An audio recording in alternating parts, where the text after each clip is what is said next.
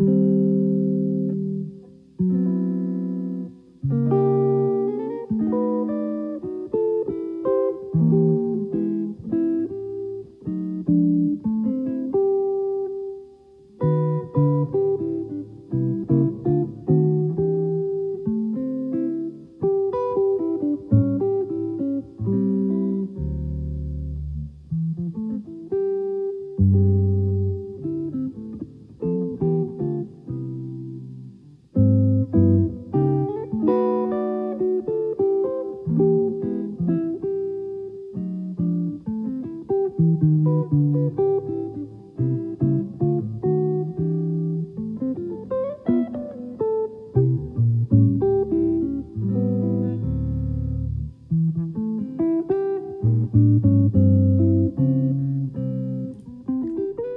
go to YouTube and type in Mundell Lowe, you will find a collection of videos and recordings that just go on and on and on. Some of the videos, the old kinescopes, reach back into the 50s. The recordings go back even further.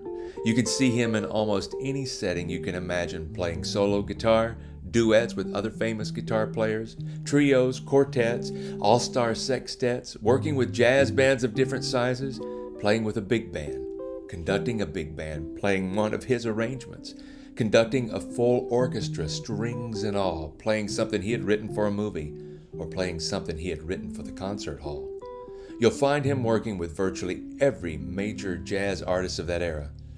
Charlie Parker, Lester Young, Benny Goodman, Clark Terry, Ed Shaughnessy, the Sauter Finegan Orchestra, Toots Thielemans, Andre Previn, and the girl singers well, Billie Holiday, Peggy Lee, Sarah Vaughan, Rosemary Clooney, the cream of the crop. Same thing with the guys Sammy Davis, Steve Lawrence, Tony Bennett, Frank Sinatra. It's endless. Few of us ever get to meet our heroes. Fewer still ever get to actually work with them. And precious few get to form a friendship that lasts all the way to the end. Well, howdy, y'all. I'm Brian Hilligoss, and those are not my words. Those are the words of Lloyd Wells, spoken at the eulogy for Mundell Lowe. Both of those fellows hail from Laurel, Mississippi. Mundell would say that he was from Shady Grove, damn near Laurel, Mississippi. The song you've been listening to and just ended was I Loves You Porgy by George and Ira Gershwin. And that was Mundell Lowe playing solo guitar from the Poor Butterfly CD that he had recorded with Lloyd Wells and Jim Ferguson back in 2015. I believe he was about 93 years old at the time. Hell, I can't play like that now. Uh, I'll never be able to play like that. But there are some folks that come close, and one of those is my good friend Lloyd Wells. In the description or comment section of this broadcast, you should be able to find a link that will take you to another place on the internet, and you'll be able to listen to all of these recordings. Uh, the podcast recordings that I'm conducting now with Lloyd, as well as these music recordings. And we're trying to put those all in one good place so that you'll have them and enjoy them for years to come. So, enough of my rambling. Let's get into it now and listen to Lloyd talk about his mentor, hero, and friend, Mundell Lowe. Mundy was uh, was one of one of the great jazz guitar players to to come out of this country. Uh, he was born in Laurel, Mississippi, the same town that I'm from, in 1922, April the 21st, 1922, and uh, he was a he turned out to be a marvelous player. Uh, he also turned out he was a, a serious musician. He studied composition and arranging and orchestrating, and he he played with a bunch of big bands. Then he moved to New York, and he worked in all the studios, did all the television things. He was on the NBC staff for a bunch of years uh, worked. I, I don't I don't know of another guitar player that worked with as many name jazz personalities as he did. You almost can't think of someone of that era, of a 40 year period of time that he did not work with. Uh, I met him in 1958, and uh, when I went to New York in 1964, I, I knew him for a couple of years. Then they moved to California, and we've been- been friends ever since then. And uh, as I told you a little earlier, uh, that CD that you have that Yeah, yeah. has has that one song on it. That's the last time he, he came here to Lawrence House, and we went down to the little studio and re-recorded one of the tunes that were in there. And that's the last time he was in the studio. Last time I was in one. Uh, he died a few years ago, two, little over two years ago. On the 21st of April, he would have been 95. Oh. His wife, Betty, is now 96. I believe she's still alive. And you told me, when was the last time you talked to her, though? a week ago. I tried to call her on Sunday. Yeah, yeah. You know. And you told me just this year that she was married to Andre Previn. Yeah, yeah, she was Previn's. Her children are Previn's children, Alicia and I can't think of the other one's name. Sorry, Did Mundy Claudia. Have, Claudia. did Mundy have children? Mundy had he had a, uh, four children. Sherry, and uh, by his first wife, Yeah. and then uh, Debbie, and Jessica and Adam by his second wife Barbara. He and Betty had no children, yeah. But uh, they certainly have got a house full. You know, when I when I did his eulogy down in Shady Grove, which is a little community just outside of Laurel, where they scattered his ashes. Uh, in my eulogy, I said at the front, if you want to know everything about Mundy's playing and, and his orchestrating and his arranging and, and who he played with and all that, go to YouTube. I I can't recall all that stuff because you can punch YouTube, like you said, and, and for days you see it all, you know. Uh, Was he an influence on you in terms of arranging? heavy, heavy, heavy. heavy. Had you studied his works, or you just I, I just absorbed them. yeah? Uh, I told him one time, uh, years and years ago, that in, in all of my heaviest ar- arranging ever that I did, I did some in New York, but the heaviest stuff was the period of time that I worked at Opryland. And you know how much all that was. Mm-hmm. And uh, I told him that at, at times when different problems arose for different tunes, for different bands, for different uh, vocal things, any, any kind of problem, I would always stop just a minute and think, well, now, what would Mundy have done? Not that I necessarily would have would write it as he did, but I'd stop and think about it. And a lot of times I'd come up with an answer. You know, it's it's hard not to if if if you listen to the he's he recorded so much. I mean, all kind of stuff, all kind of movie themes, all kind of jazz albums, uh, solo albums. Did he work with uh, Billie Holiday? Everybody, man, you Charlie Parker? Charlie Parker, hell yeah, absolutely, man. he recorded with Charlie Parker, and ain't but about one more guitar player that did that. Is that right? I know I mean, that. that's uh, rare. Yeah, and I got on, on YouTube. Uh, it was something I came across. I think I even sent it to you. Of course, I'm sure you had already seen it. With let's see if I can remember. It was Mundell. Was it him playing behind Mel Torme? I And then there might have been, and Ray Brown was playing bass, and I don't doubt. I don't, I don't recall. no, but Don't doubt that at all. He just knew everybody. Everybody, man. He had uh, he had lived for I'll say maybe 15 years to 20 years in New York. Been the, right in the center of everything that happened.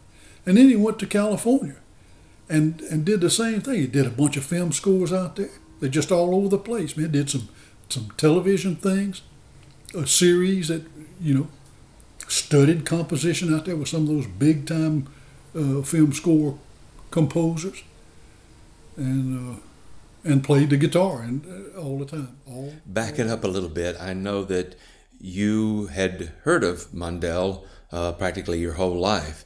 And how did you finally connect? Was it after you had come out of college and you were a, a band director for a period of high school, time? high school, four years. Four years.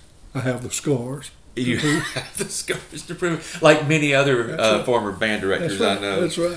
And then, but you you decided that wasn't going to No, I make didn't. it for you. So then somehow you reached out to to Mundy. Was Yeah, that the deal? well, back up just a hair. 1958, when I was at University of Southern Mississippi, I was in the in the marching band, as you had to be, Playing what uh, clarinet. in a marching band? Not not really playing it, Brian, just kind of carrying it. Anyway, uh, one of the trips that the band took was uh, somewhere up north to play some halftime at a football game, and we got a free day in New York City, of course. And and so I went around in Laurel to one of the stores where I knew one of Mundy's sisters worked. I can't remember her name. I think it was Pearl, I believe. But I remember the store very well.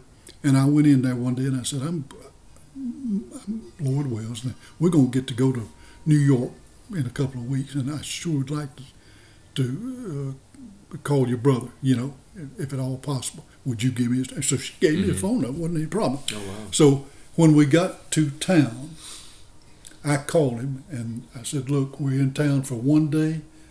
Big time fans of yours. Can can we buy you lunch? Can we come to wherever you're working or what? Just anything. Can we just get next to you a little bit today? You know?" He says, "How'd you like to come to a uh, uh, hit parade rehearsal?"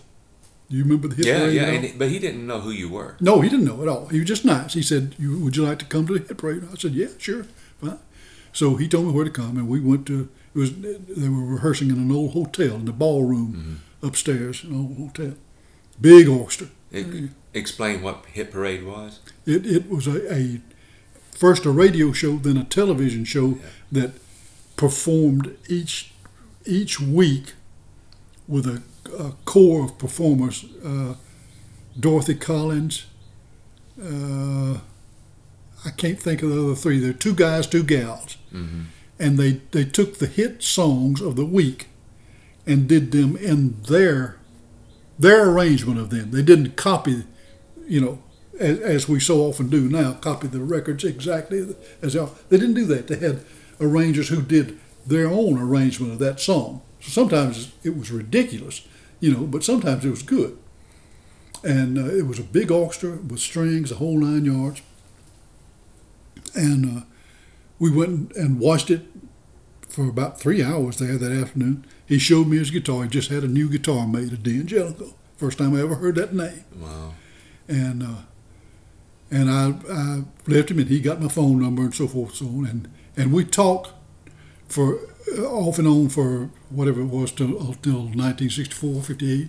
What is that? Six years, Yeah. five or six years. So you would just call him. I'd call him every once in a while. He would tell me about what he was doing. You know, he just d- done a jazz album or he just played for some big singer. Whatever, all interesting stuff, real inviting stuff. So in '64, I called him. I, I said, I, I want to come up and spend two or three days with you and just watch you work. You know, so he says, come on. So I went up, spent a few days. We just tagged around with Did you him. stay with him? No, I stayed in a, in a hotel right next to where he lived.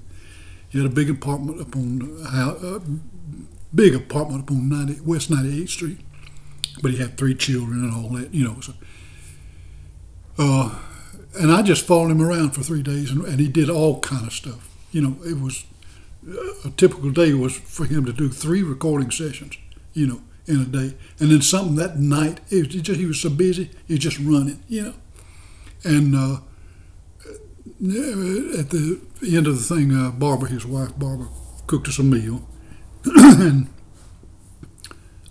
took the guitar over and we sat and played, and went in his den, sat and played the first time, and I read some stuff for him, and uh, played some stuff, and I asked him then. I said, if I come up here, can I make a living? You know, in in this town. Yeah. He said, sure. All you got to do, excuse me, is just come up here. You know. So I did. I went up. Uh, in June of that year, and uh, Was Louise with you? no, we weren't married then. You weren't married And uh, I stayed uh, Christmas, came back, and we got married Christmas, then went back up in '65. Mundy lived there for the rest of that year, and then at the end of that year, he and his wife and family moved out to, to California. Mm. Got a chance to write for the TV, uh, a little show called Love on a Rooftop. I remember You know, the name yeah, of that. yeah. So he left, and they, they lived in Los Angeles for a long time, and then uh, Barbara died, and then, then they, he married Betty eventually, and, and they moved down to San Diego. That's where he lived. What was unique though about Mundell's guitar playing? Uh, first thing that you noticed was his sound. He always got a, a, a big, fat, round sound for single, single line, single notes. They were pretty things. They weren't bright and brilliant. Didn't make your teeth itch, you know that type thing. It, it was just pretty. It was a pretty sound, pretty guitar, pretty amplified guitar sound. And other than that, he was always clean as a pin. You know, played he was able to play whatever, pretty much whatever he thought at the time. Uh, he he he did drop the low string down to a D, He- and he had, he started that. He got that from Johnny Smith when he was in New York. So all his immediately all his chord forms and all are different than you than you hear the normal guitar player play. So there's something strange there, you know. Uh, with a all that is backed with a an unbelievable knowledge of of harmony.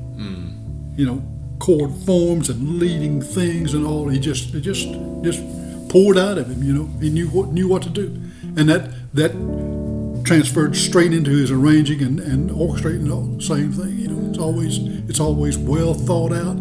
It always swung like the Dickens. You know.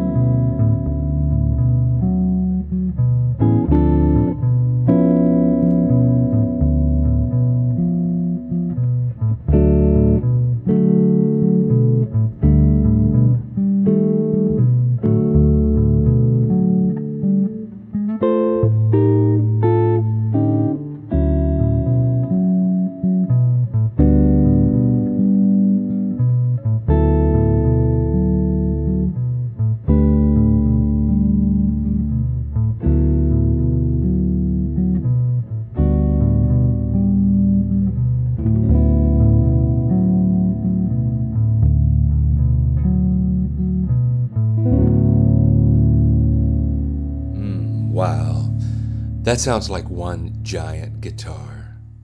Those two guys, Lloyd and Mundell, play wonderfully together, and it's so tight and so steady. Just beautiful. That's Snowfall, yes, by Claude Thornhill. It's somewhat of a jazz standard. A lot of folks have recorded it over the years, but that is on the CD. This one's for Charlie by Mundell Lowe and Lloyd Wells, and we'll provide a link somewhere in the description or in the comments section so you can find where you can go on the internet and listen to all of these recordings and more of these podcast recordings. I'm Brian Hilligoss. Thank you for joining me in listening and enjoying the stories of composer, arranger, writer, guitarist, all things music, Lloyd Wells.